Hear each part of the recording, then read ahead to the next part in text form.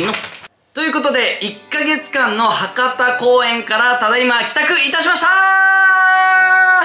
我が家東京舞台千と千尋の神隠し博多座公演で4月29日から1ヶ月いまして、えー、帰ってきました。今6時半、夕方のね、6時半ぐらいなんだけれども、えー、もうほんと帰ってきて、すぐにこれをね、回してます。もうね、本当に博多座公演、そして博多がもう楽しくて、もう新鮮なうちに話したいと。だからもう博多の刺身です。もう博多のお刺身。もう火も通さずお話ししたいっていうね、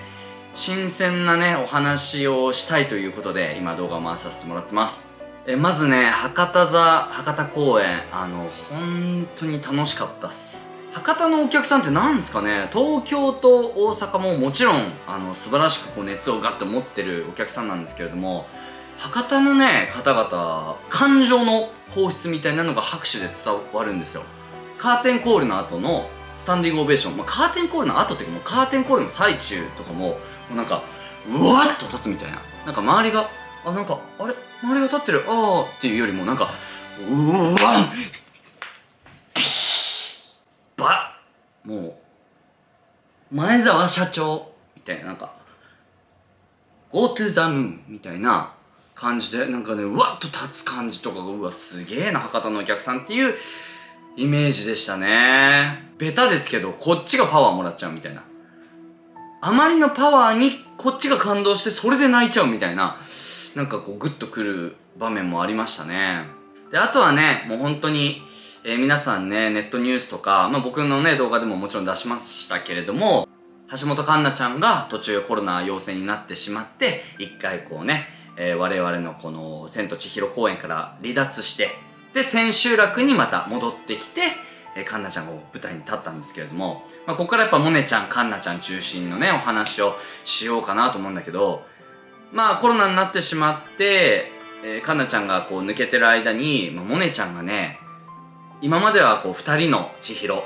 モネちゃん、カンナちゃんでこう我々を引っ張ってってくれたっていう感じなんだけど、モネちゃんが一人の千尋としてやっていかなきゃいけないってなった時のなんかモネちゃんのもうどうしようもないけどもうこれはもうやったるぞみたいなこの覚悟みたいなのがビシッと見えてすっごいかっこよかったんですよ。でモネちゃんによく言うんだけど本当に小さなモネちゃんがもうでかく見えると。本当ねビッグモネなんですよ。ビッグモネに見える舞台上のモネちゃんは。それがね、なんかすごいかっこよくて、頼もしくて、あ、大丈夫だ。俺たちは絶対に大丈夫だっていう、こう、気持ちを持って信じながら公演ができたので、本当にモネちゃん、素敵な、素晴らしい女優だな、座長だなっていうのは感じましたね。あとはね、まあ、カンナちゃんが、えー、千秋楽にね、戻ってきて、で、公演自体はおそらく2週間ぐらい空いちゃったのかな。カンナちゃんが最後にやってから2週間ぐらい空いての千秋楽だったと思うんだけどもうやっぱりスターですね。もう本当にやりきって最後はねもう涙涙でもう僕らももうね本当にこう耐えることができないぐらいもう全員う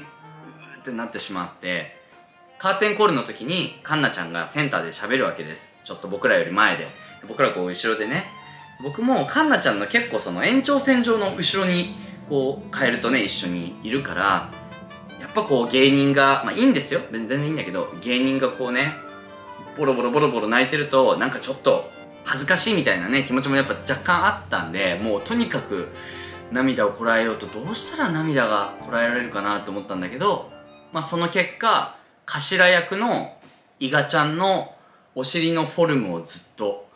思い返しててそしたら涙がね全然あの出てこなくなったんで。まあ良かったなと思ってます。でこっからねなんかその全体の話というか「千と千尋の神隠し」の自体の話をねしようかなと思うんだけどまあ言ったら舞台の「千と千尋の神隠し」って世界初演なわけですよ。で演出家のジョン・ケアドがこう演出をつけてくれるんだけど僕らも言ったら一緒に作りながらこの舞台というのを完成させてここまで持ってきてるんで多分東京の最初の方と今とじゃまあまあいろいろこう内容はもちろん変わってないけども見せ方みたいなのとかが僕らも結構工夫できてきていろいろね変わってると思うんですよね。でもそれだけみんなが毎公演毎公演工夫しながらやってるっていうのがなんかね素晴らしいなと思って。で、まあ、間違いなくその初めてやったことだから1回目よりも10回目10回目よりも100回目の方が当然上手くなってるわけだからそういうところのこうベースの向上みたいなのももう必ずねあると思うんですよね。だからまあこれが再演とか今後ねあるのかは分かんないですけどそうなった時もまた楽しみだななんて思いながら残りの次が札幌です。そして名古屋。で全部やるとまあ本来120公演やる予定だったけれどもまあちょっとかけたんでもうちょっと少ないんですけどまあね残りの公演もすごい楽しみだなという気持ちでやらせてもらいますまあこっからねおまけなんですけど僕が買ってきた福岡土産を公開したいと思います明日がね「レッツビバディっていう TBS の「ラビット!」っていう番組の後にフィットネス番組みたいなのやっててそのトレーナーとして出てるんですけどその、えー、番組のスタッフさんがこれですね。